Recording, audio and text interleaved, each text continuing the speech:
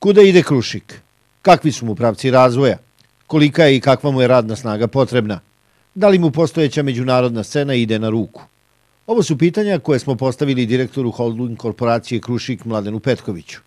Ceo razgovor pogledat ćete u dodatku emisije Kroz Valjevo u petak. Za večeras izdvajamo.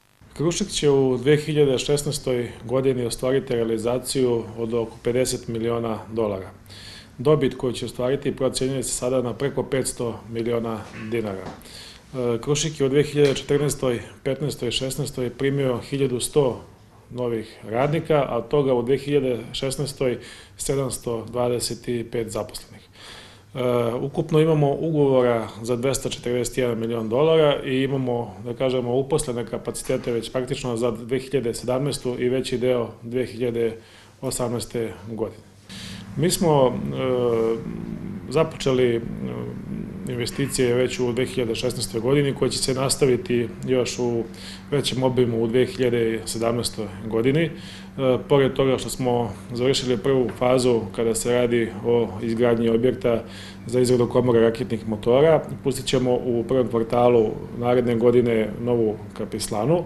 Takođe, krenuli smo u nabavku nove opreme kako bi se svi ugovori ispoštovali u dogovorenim rokovima, tako da će u Krušik tokom naredne godine ući najmanje 60 novih CNC mašina.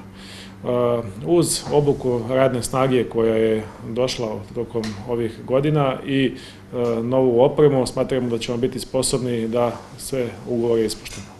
Uh, Krušik namerava da svoj rast zasniva upravo na razvoju novih proizvoda, proširenju proizvodnog asortimana, modernizaciji tehnologija koje sad danas postoje u Krušiku. Tako da će u narodnoj godini oko polovine ukupne prodaje činiti proizvodi koji nisu rađeni u Krušiku pre samo godinu ili dve. Naime, mi imamo dogovorene velike uh, ugovore vezano za raketni program, a dobro znamo da je raketni program dugi niz godina zapostavljen u Krušiku i da ništa nije urađeno. Razvili smo i pustili u serijsku proizvodnju nekoliko novih raketa.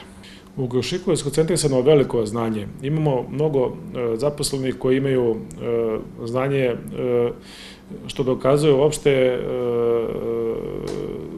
kvalitet naših proizvoda koja plasiramo na svetsko tržište. Naime, naši proizvodi su danas prisutni u preko 70 zemalja sveta i poznati su po izuzetno visokom kvalitetu i pouzdanosti. Ono što je nepovoljno jeste starostna struktura zaposlenih. E, mi ćemo se truditi u narednom periodu koliko je to moguće da prenesemo znanje sa tih ljudi koji su, da kažemo, pred penziju, na ljude koje smo zaposlili i koji ćemo truditi, za koje ćemo se truditi da napravimo od njih kvalitetnu radnu snagu, kako inženjerski kadar, tako i srednju stručnu spremu.